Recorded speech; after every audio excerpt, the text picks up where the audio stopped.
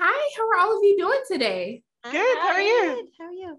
I'm doing good. I got a nice little laugh from the movie. I'm in a good spirit now. Good. You know, one of the first questions that I had for all of you is you spend so much time in your careers putting a smile on all of our faces and help making us laugh. But what do you do to make sure that you can spread some cheer to yourself? Oh, that's a great question. I think I hmm. watch other comedies. Hmm. I watch Friends. Yeah, Friends is That's good. my favorite favorite thing ever in the history of the world. You know what I was watching during this is uh, Schitt's Creek. Oh yeah. While we were shooting Schitt's this, Creek. it was so great, and it took me forever to like catch on to it, but. It, it was it made me so happy and and I slept really well. I was sleeping so much better because normally I watch Dateline before bed, but Oh. during shooting the bubble, we were watching Schitt's Creek, and I slept so much better and was so much like in a better mood, just happier. Watch Schitt's Creek. Don't well, Dateline is good too. I don't know. Ah. Depends on where you are in your life. That's so true. How about you? Well, yeah, I, I couldn't agree more. I watched Schitt's Creek and I'm absolutely upset. I think it's genius. Yeah. And especially the fifth season, Yeah. incredible. Um, but yeah, watching more com- comedies because we need it. And especially in times like this, Yeah. let's make the world a little bit li- lighter, brighter, yeah. brighter, not lighter. Both. And communicate with people that are funny. Yeah. And I just want to say, Leslie, thank you for letting the world know that Dateline is a horror show. Okay. It's horror. Just It want people is. It's horrid. It's horror. It literally, yeah, it really terrifies me. My mom will make me watch Horror. Dateline with her, and I was just like, "This is too much for my spirit. I just can't do it right now." Horror. No.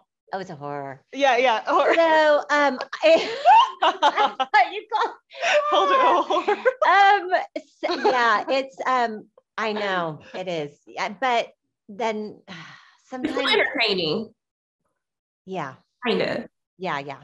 Kind of, sort of. See, I'm telling on myself. It's like a horror, but it's still interesting to watch. Oh, yeah. Morbidly fascinating. Yeah. Always. Mhm.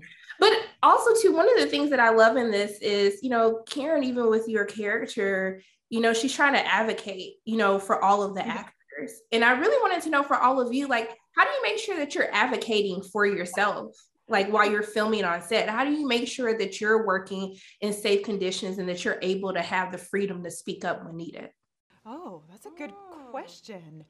I mean, I've always felt okay kind of expressing myself if I don't feel like something is safe, but generally everything has been pretty well run that I've been in. Um, maybe there was like one really scary stunt one time and they wanted me to like jump off of this thing and then swing and they were like oh don't um don't bang into the metal plate just avoid that when you're in the air and i was like what um and then i i said i don't think i can do this and it was in that voice and then the director was like you know what you don't have to do anything you don't want to do um so that was a moment where i was like i think i need to say something and i don't know how to do it so let me just say it in the most ridiculous voice possible um so that worked I feel like young people don't really know how to do it, Yeah. uh, how to advocate for themselves. Yeah. And Yeah. then as you get older, Mhm. you do you learn, but then you remember these times when you were younger that you did the craziest things that you should have never done. Mm-hmm. So I always tell tell my daughters like, don't ever let anybody do this to you. Don't let, ever let mm-hmm. anybody, you know, like put you in this position. Don't ever, and they don't listen. Maybe they they'll remember that voice when they're put into a scary situation. Yeah, it's good advice though, you know, because it is really hard to navigate those Yeah. situations with normal voices too. no. no, please, just I want to. I'm just gonna make sure I speak in a crazy voice now. That's that's how it works. how it eases the mood. Well, I mean, Well, Look, I just want to thank all of you for taking time out of your day to speak with me. I really, really appreciate all of you talking with me, and I'm just sending love and light all of your ways. I hope you have a great day. thank you so uh, Aw, much. you Nice too. having Thank you. You. Thank you. Hi, how are all of you doing today? Hello, good, thank you. Look, one of the first questions that I wanted to ask all of you is, you know, you spend so much time making, you know, everyone at home and in theaters smile and laugh. I want to know for you, like, what do you do to bring yourself some cheer? Mm, that's a good question. That is a good question. Um, I sometimes do like very, very, very bad painting. I think is quite a nice like therapeutic thing, but never anything that I could ever show. Yeah. Um, me, I think ever since I've been in LA, there's been so much sun, so I just have unnecessary barbecues. because in the UK we can't do that because it's always raining. But in LA, you just be like, "Hey guys, yeah, yeah, you come around. I'm having, I'm having a barbecue," and it was like three people having this massive barbecue because of sun, literally. How about you? Uh, I just like will read like a, a Buddhist self help book and just go, why isn't it working for me? Why isn't it working? Relax.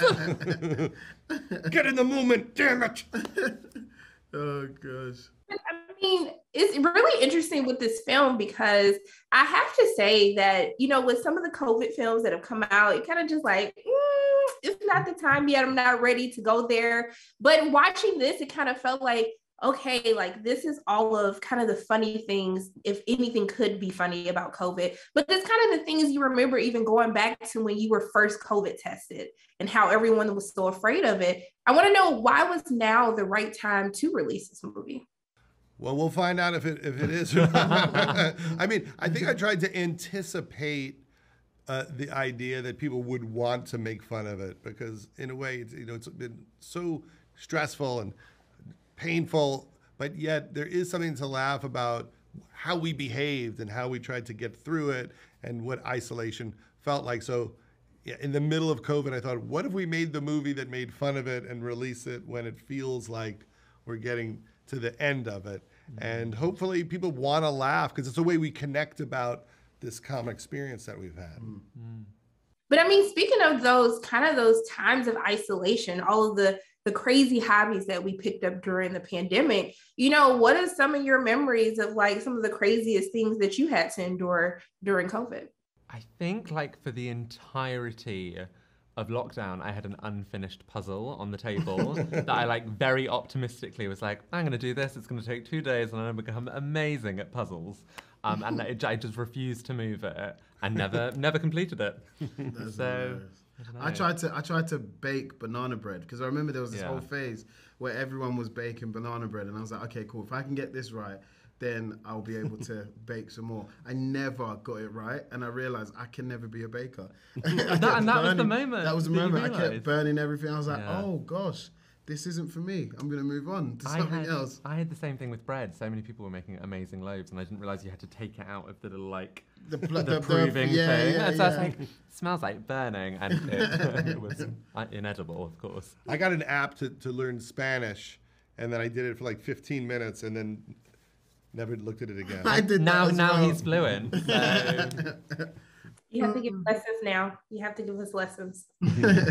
I mean, but one of the another thing that I do love about this film is it talks about how to advocate for yourself. And I wanted to ask all of you, um, how do you make sure that even in these work settings that you are comfortable enough and that you can give yourself the voice to advocate for yourself? Uh, for me, I think you know the the the crew and uh, especially being locked inside for so long, having a gang of people who are like so cool and chill and everyone kind of gets each other and mm. you know we had so many conversations because some of the cast are british some of the cast are american bulgarian you know so it was really nice to have different conversations and everyone kind of stood up for each other and then to have a captain just be like what do you guys want to do it's yeah. like like that always makes it you know easy and uh, easy, an easy setting to work in. Yeah, I think it never then it never felt like you couldn't say something, yeah. which was I think very special and very absolutely made it so much more enjoyable. I think. Okay, you better have a great work environment. Can you come teach my job? Just have. well, look, I want to thank all of you for taking time out of your day to speak with me. I really, really appreciate it. And I'm just sending so much love and light all of your ways. I hope you have a great rest of your day. Thank you. Thank you so Thank much. You. Be well. Take care. Take care.